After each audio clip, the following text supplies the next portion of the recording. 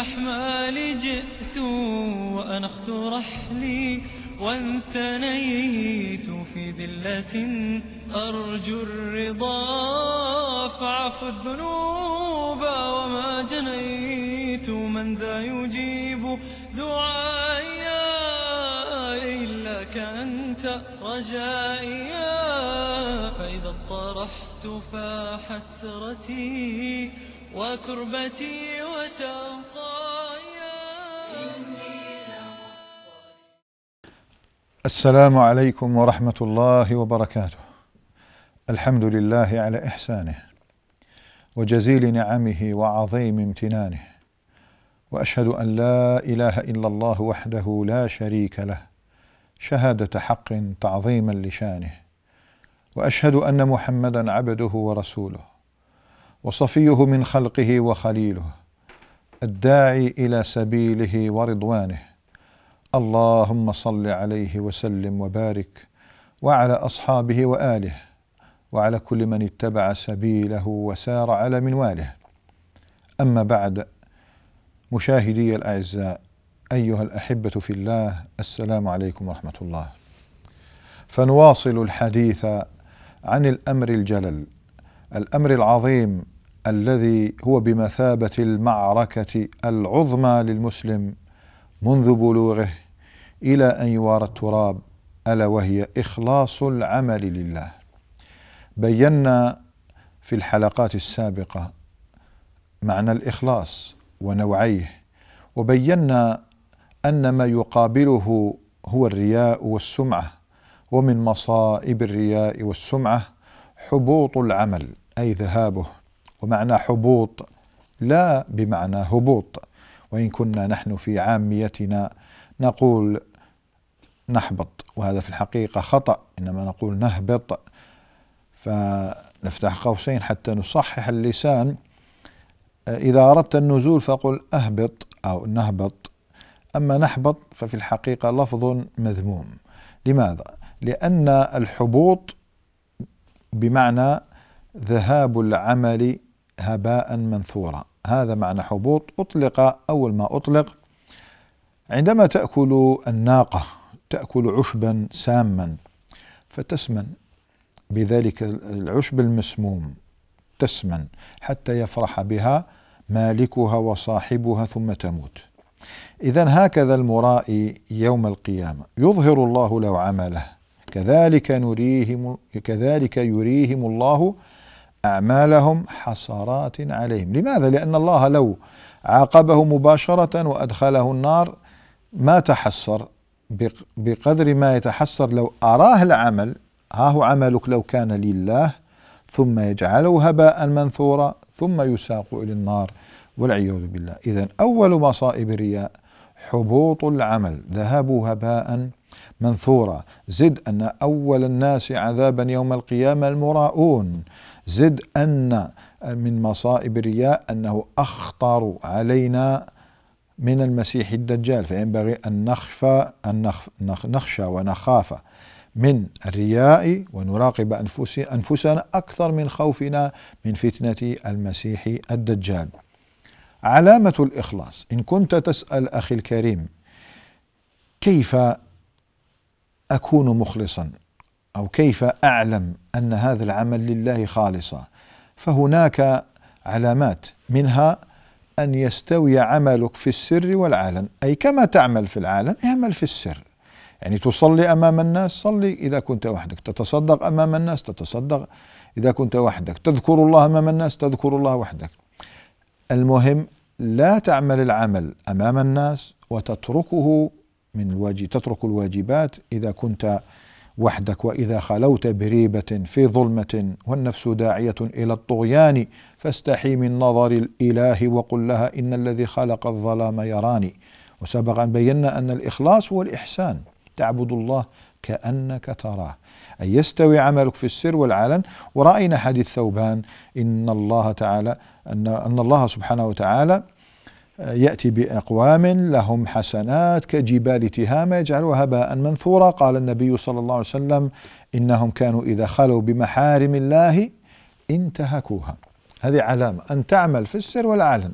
ثانيا أن يستوي عندك ثناء الناس وعدمه. ولا تحزن إن لم يحسب, إن لم يحسب عملك لك. لا تحزن إن لم ينسب عملك لك لا يهمك.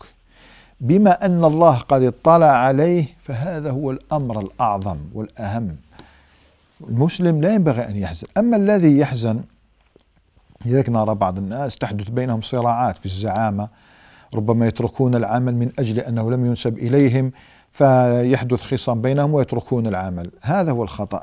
يقول النبي عليه الصلاة والسلام الحديث في سنن الترمذي وغيره ثلاث ما أعظم هذا الحديث. ثلاث لا يغل عليهن قلب امرئ مؤمن. كاين ثلاث صفات. لو كانت تكون عندك لا تحمل في قلبك غلا ولا حقدا ولا شحناء ولا أي شيء.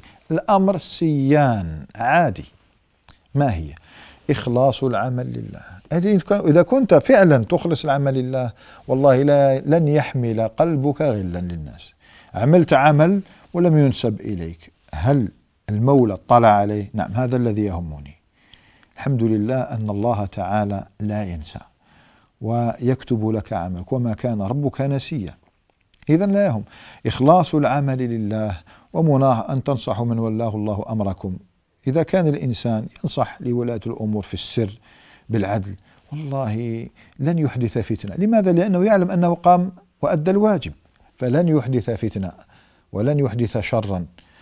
والثالثة هو جماعة المسلمين. إذا كان يحرص على اجتماع الناس فإنه تراه دائما يسمح من حقه ولا يحمل في قلبه غلا لأنه يعمل لله دائما. يسمح من حقه ويتجاوز ويطاوع حرصا على ائتلاف الصف واتحاد الشمل. اتحاد كلمة المسلمين ثلاث لا يغل لا يغل عليهن قلب امرئ مؤمن. إذا إذا كنت تعمل العمل لله في السر والعلن. ثانيا إذا كنت لا يهمك إن نسب العمل لك أو لا المهم تعمل. فهذا علامة إخلاص. أنا أظن أن أمة تتربى على هذا. والله لن تخفق لن تفشل وتراها في قم في أعلى القمم. أما إذا كان الإنسان يعمل للناس ينتظر الثناء فإن كان ثناء فينطلق وإلا رجع القهقرة فأمة مثل هذه لن تتقدم أبدا. لكن إذا عرفنا الداء فأين الدواء؟ ما هي وسائل الحفاظ على الإخلاص؟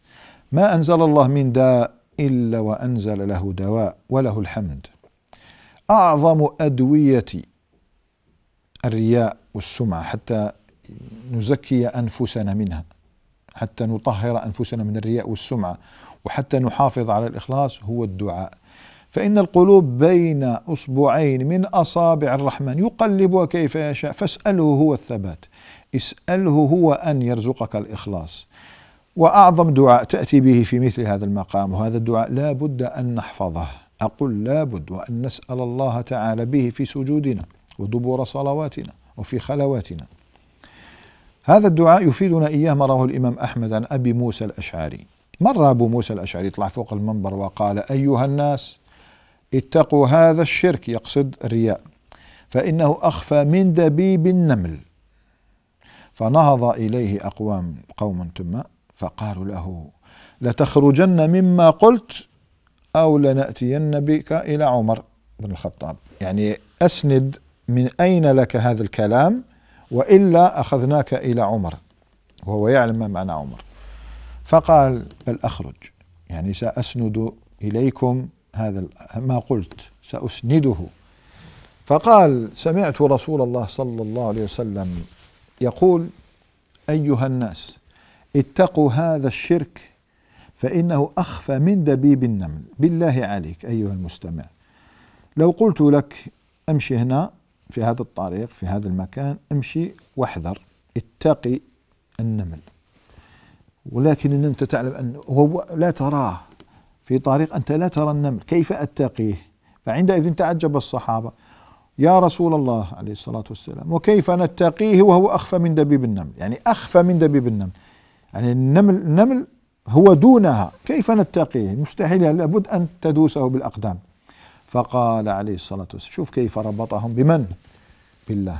فقال قولوا اللهم إنا نعوذ بك أن نشرك بك ونحن نعلم ونستغفرك لما لا نعلم.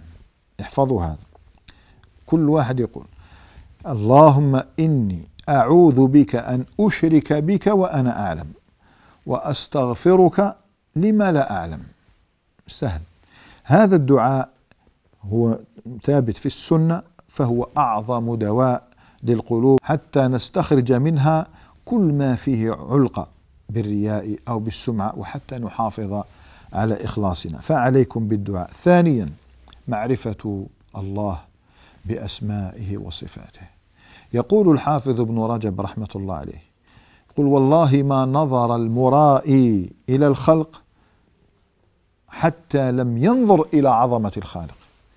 هو ما نظر إلى ما في أيدي الناس من ثناء وغير ذلك حتى نسي عظمة الخالق. وإلا لو علم هو المخلوق هو الخالق. لو علم أن الخالق يراه ويسمعه لاكتفى بأن يعمل له ولا يعمل لمن هو دونه. لذلك لابد أن نتذكر أن الله وحده هو النافع الضار. هو المقدم والمؤخر. هو الذي يقدمك هو الذي يؤخرك. هو الرافع الخافض. إن شاء رفعك. وإن شاء خفضك. فاعمل لهذا لمن بيده الأمر كله لا تعمل للخلق. ويشبه هذا يوم جاء الأقرع بن حابس من بني تميم. جاء وفد بني تميم في العام التاسع للنبي عليه الصلاة والسلام. وفد بني تميم كانوا من الأعراب يعني غلاظ شوي. فصاروا طبعا ينادون يا محمد اخرج يا محمد اخرج. والرسول عليه الصلاة والسلام في حجرته مع نسائه أطال عليهم ما أراد أن يخرج وله عذره. وهم يا محمد أخرج يا محمد أخرج. طبعا من أجل هذا نزلت سورة الحجرات. حتى قال هذه الكلمة يا محمد أخرج فإن مدحي زين وإن ذمي شين. يعني إن مدحتك كنت ممدوحا عند الناس جميعهم وإن ذممتك كنت مذموما. فخرج إليه النبي صلى الله عليه وسلم. شوف مع الأول أذاه. ما خرج صبر لكن هنا راه مس جناب الله. فخرج إليه فقال ذاك الله. الذي مدحه زين والذي ذمه شين هو الله. لا عبرة بأحد غيره. فبين النبي عليه الصلاة والسلام من هذا أن الله إذا رآك تعمل صالحا وإذا سمعك الله عز وجل تقول صالحا فكفى به سميعا. كفى به ناظرا ولا عبرة بغيره. إذا لابد أن مسلم أن يعلم أن الله سبحانه وتعالى هو المقدم وهو المؤخر فلا يعمل لغيره. نكمل إن شاء الله الأدوية النافعة ضد مرض الرياء ومرض السمعة بعد قليل إن شاء الله بعد هذا الفاصل. فابقوا معنا والسلام عليكم ورحمة الله. وكربتي وشقايا السلام عليكم ورحمة الله وبركاته. فعدنا إليكم مجددا أيها الأحبة في الله لنكمل حديثنا عن الإخلاص والسبيل إليه. رأينا من أعظم السبل إلى الإخلاص والحفاظ عليه هو الدعاء أن يقول المسلم اللهم إني أعوذ بك أن أشرك بك وأنا أعلم. أو اللهم إني أعوذ بك أن أشرك بك شيئا أعلمه. وأستغفرك لما لا أعلمه. والأمر الثاني هو معرفة صفات الله تبارك وتعالى فإذا عظم الله في القلب هان غيره. وأما الأمر الثالث الذي يعينك أيها المسلم على المحافظة على الإخلاص هو تكلف العام إخفاء العمل أحيانا. انتبه. تكلف إخفاء العمل أحيانا. هناك بعض الأعمال تستحق الإخفاء كالنوافل كالصلاة في البيوت ونحوها. هناك أعمال تستحق الإظهار كالفرائض ولكن هناك أعمال تستحق الإخفاء حتى على الأهل. حتى وأنت في البيت أحيانا أخفي عن أهلك. إذا تمرنت على هذا الأمر أن تخفي العمل حتى على أهلك على زوجك وأولادك تعمل صالحا ولا تخبرهم بذلك فعندئذ يتربى هذا القلب على العمل لله سبحانه وتعالى. يصبح الإخلاص لك سجية. وكانوا قديما يقولون عمل الخلوة أحب إلينا من عمل الجلوة. الخلوة إذا كنت خاليا وحدك والجلوة إذا كنت متجليا للناس. وروى الضياء المقدسي رحمه الله تعالى في الأحاديث المختارة عن الزبير بن العوام رضي الله تعالى عنه قال قال رسول الله صلى الله عليه وسلم من استطاع منكم أن يكون له خبيء من عمل صالح فليفعل. يعني اللي قادر يدير عمل صالح ويخبيه فليفعل. حتى يسأل الله تعالى به وقت الضراء وقت الشدة كما حدث ذلك لأصحاب الغار الثلاثة. فإنهم سألوا الله تعالى بصالح أعمالهم في رواية قلنا بخالص أعمالهم. فالمسلم يخفي أحيانا عمله حتى من أهله. يقول الحسن البصري رحمة الله عليه إن كان الرجل منا لا يختم القرآن ولا يشعر به أحد.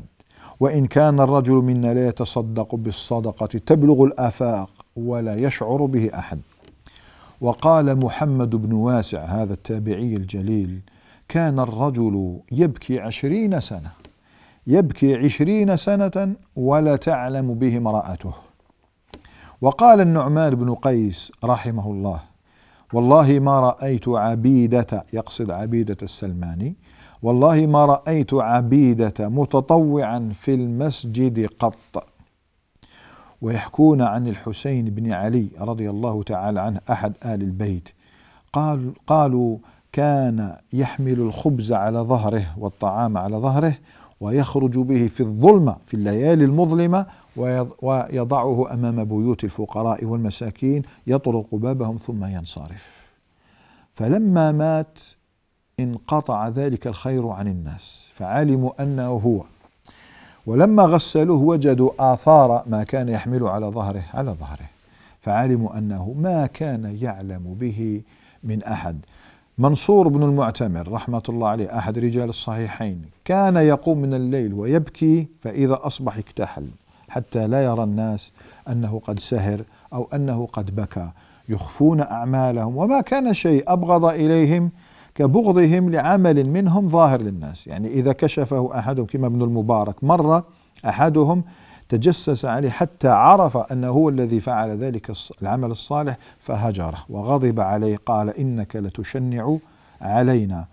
المهم أن يخفي الإنسان عمله أحيانا. من الأدوية ضد الرياء والسمعة والحفاظ وللحفاظ على الإخلاص هو مراقبة النفس قبل العمل. وهذا مهم. مراقبة النفس قبل العمل. يعني المسلم إذا رأى من نفسه أنه مقبل على عمل ولم تصفى نيته لم يتأكد من صفاء نيته فليصبر وليخلص نيته من جديد يجدد نيته لله. وهذا ثبت عن الحسن البصري رحمه الله مرة جيء إليه فقالوا تعالى بنا نصلي صلاة الجنازة على فلان. فدخل بيته بقي فيه قليلا ثم خرج. فقيل له ما كنت تفعل؟ قال كنت أجدد النية. يعني الآن أنا ما كنت ناويا للذهاب إلى صلاة الجنازة. أنتم عرضتم علي الأمر. فخفت إن أتيت وأجبتكم لا كنت قد فعلت هذا العمل لكم. فذهبت وأخلصت النية. ربما ربما قال اللهم إني أشهدك بأن هذا العمل خالص لك. والله لا لست بذاهب من أجل هؤلاء ولا هؤلاء إنما لك. هكذا تخلص النية لله لأنها مثل هذا الحديث حديث النفس والمراقبة مما يجعلك فعلا تصفي نيتك لله سبحانه. قيل لأحد لأحد المحدثين حدثنا. فقال لا حتى تأتي النية. هذا علماء أجلاء ربانيين ما كانوا ينافقون ولا يمثلون. كانوا صادقين صريحين مع أنفسهم ومع الناس. حتى تأتي النية فما بالنا نبرئ أنفسنا الحمقى ونقول إنها لله سبحانه وتعالى خالصة. خامسا من أسباب أو من أدوية المحافظة على الإخلاص والمطهرة من من الشرك الخفي هو الصيام. لماذا؟ لأن الصيام من الأعمال الخفية. كما قال الله تعالى في الحديث القدسي في الصحيحين كل عمل ابن آدم له إلا الصوم. فإنه لي وأنا أجزي به. فأحد فله تفسيرات منها أنه ما من عمل إلا وأنه يمكنك أن تعمله أمام الناس ولا تعمله ولا تعمله إذا كنت وحدك. يعني صلاة المرائي يمكن أن يصلي أمام الناس لكن إذا كان وحده لا يصلي. صدقة كيف كيف؟ لكن الصوم يعني هو وحده الآن جالس ولا يأكل. فالمسلم إذا واظب على تعويد نفسه الصوم وهو لله دائما ولا يخبر طبعا في النوافل الناس. بذلك فسيتعود لذلك قالوا عن الصوم إنه مدرسة الإخلاص يعلمك الإخلاص. هكذا كل شيء يأتي بالتدرب. كذلك من أنفع الأدوية للمحافظة على الإخلاص ولإخلاص العمل لله قراءة سير الصالحين. افتحوا كتاب مدارج السالكين. وانظروا إلى درجة الإخلاص. فإن المسلم إذا قرأ عن تاريخ هؤلاء وسير هؤلاء كيف كانوا يعملون؟ ولا يعلم بهم أحد. ويخلصون لله ويبكون كما ويبكون بكاء شديدا. كما يقول سفيان بن عيينة والله ما عالجت شيئا كما عالجت نيتي. تختلف عليه وتتقلب عليه. شكون يقول هذا الكلام؟ سفيان بن عيينة. ما عالجت أي ما جاهدت شيئا كمجاهدتي لنيتي. تتقلب علي إذا نقرأ على سير هؤلاء. فإنه بمثابة الجليس الصالح الذي يذكرك إذا نسيت يعظك إذا غفلت. من الأمور المعينة على الإخلاص أيضا الدنو من المساكين. كما إحنا نقول بالدارجة تاعنا قعدوا مع الزوالية مع عادي الناس العاديين. فالجلوس مع هؤلاء الفقراء والمساكين المتواضعين هذا يورثك الإخلاص. وهي وصية النبي عليه الصلاة والسلام لأبي ذر في الحديث الذي رواه الإمام أحمد.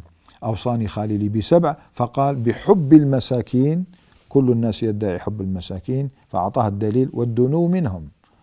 مو بس حبهم والدنو منهم. قال ابن رجب في شرح هذا الحديث قال ذلك اعلم أن مخالطة المساكين توجب الإخلاص في القلب لأن مخالطتهم لا تكون إلا لله غالبا. يعني إيش قاعد مع هذه المساكين. أترجو منهم مالا؟ ليس لديهم مال. أترجو منهم جاها ليس لديهم جاه. أترجو منهم منفعة؟ ليس لديهم ما ينفعك به. فما بقي ما بقي إلا أن يكون جلوسك معهم لله سبحانه وتعالى.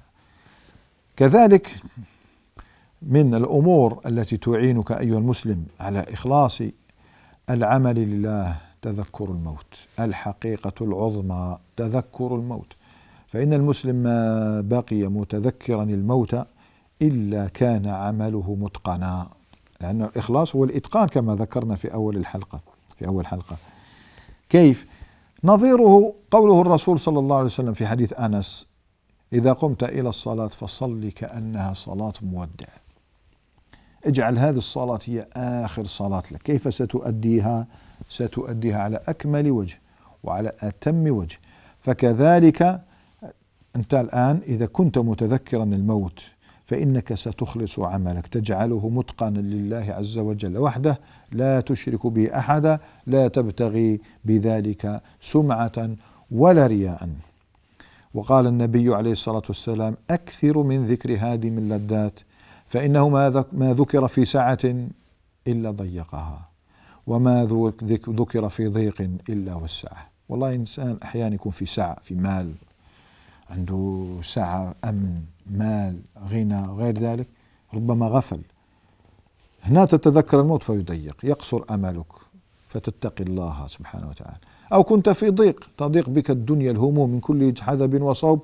تتذكر أن الموت وأن يوم القيامة عن قريب ستلقى الله عز وجل فيهون عليك كل شيء. المهم أنني مطيع لله سبحانه. إذا فاحرصوا أيها المستمعون الكرام على الإخلاص واعلموا أن من أعظم فوائده على الإطلاق قبول العمل. قبول العمل هي المسألة العظمى. ثم إن الله بسبب إخلاصك يبعدك وينجيك من الفواحش. قال عز وجل عن يوسف عليه السلام كذلك لنصرف عنه السوء والفحشاء. لماذا؟ إنه من عبادنا المخلصين. وقال الشيطان وهو أعلم بمكايده قال فبعزتك لأغوينهم أجمعين إلا عبادك منهم المخلصين. شوف ربي كيف ينجيك بسبب إخلاصك من من كيد الشيطان من الفواحش. لذلك الإنسان آه، أحيانا يريد أن يذهب إلى معصية. يبذل ربما جهدا مالا كي يعصي ثم لا يوفق. لماذا؟ بسبب إخلاصه. كان مخلصا. وضعف فلم يمكن من المعصية. هذا بسبب إخلاصك. صرف الله عز وجل عنك السوء والفحشاء بسبب إخلاصك. سد إن الإخلاص منجاة من المصائب. كما رأينا في حديث أصحاب الغار الثلاثة كيف انسد عليهم الغار بتلك الصخرة الرهيبة. بسبب إخلاصهم زحزحت تلك الصخرة.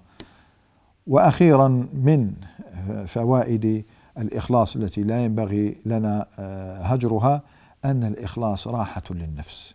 كما ذكرنا في حديث ثلاث لا يغل عليهن قلب امرئ مؤمن ما دمت مخلصا لله تعيش في راحة وطمأنينة تعيش مع الله. أما الذي يعمل العمل لغير الله يبحث عن الثناء لا يأتيه الثناء فيغضب ويحزن. يعمل من أجل المال لا يأتيه المال فيغضب ويحزن. أما الذي يعمل لله ومستيقن بأن الله عند وعده فإنه يعيش في طمأنينة. يعلم أنه سيأتي اليوم الذي يدفع الله تعالى له فيه أجره. يا عبدي خذ هذا ما كنت تعمل تعمله من أجلي. نسأل الله تبارك وتعالى أن يرزقنا الإخلاص والهدى والسداد وأن يجنبنا أسباب الغي والفساد إنه ولي ذلك والقادر عليه وسبحانك اللهم وبحمدك أشهد أن لا إله إلا أنت أستغفرك وأتوب إليك وبارك الله فيكم والسلام عليكم ورحمة الله.